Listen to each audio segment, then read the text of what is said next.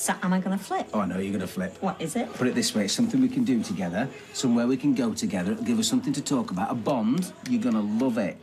Oh, what? Tell me more. Well, just meet me in the Rovers at lunchtime. I've got to pick them up this afternoon. Ben. Right, Steve? Uh. Oh, hi, Steve. Did you sleep all right? Yeah.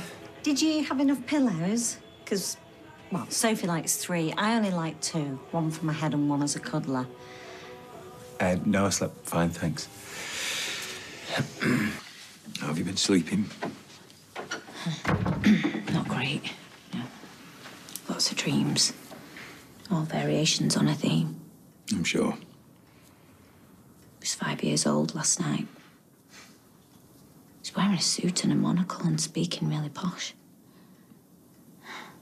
Michelle, I, I, I'd watched an episode of Family Guy. No four went to bed. Just try and take my mind off things. Obviously, there was a bit of that in there, you know, the, the clever baby. yeah, I love Family Guy.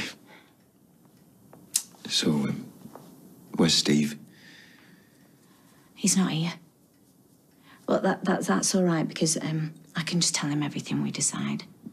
It, it, it might be better if you go through this together. I'm, I'm, I'm sure he'd want to say. Oh, I, I can pick all the music. I, I know what I want. I've, I've written everything down, so. Okay. As long as you're sure and you, you think he'll be okay with it. Can I get you a drink? Um, no. No, I'm fine. Shall we start then?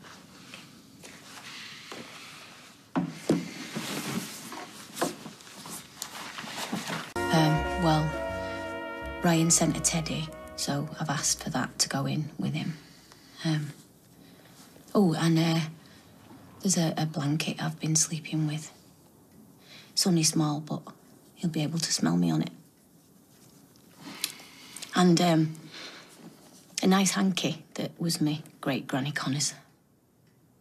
Hope it's clean. Yeah, it's clean. Now, you, um, you said you got some music in mind? Yeah, um, I was thinking. Oh, sorry. Are you, uh... Where's Steve? You even tell him that Billy were coming? There wasn't much to it.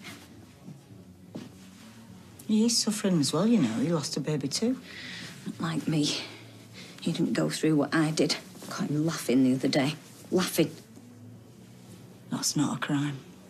Just pulling pints and throwing punches. It's like nothing happened.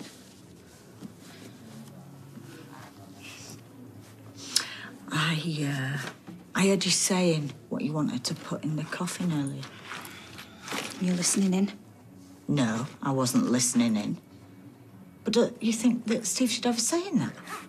Maybe there's something special that he'd like to put in there. He has been through this before, you know. So have I. I know.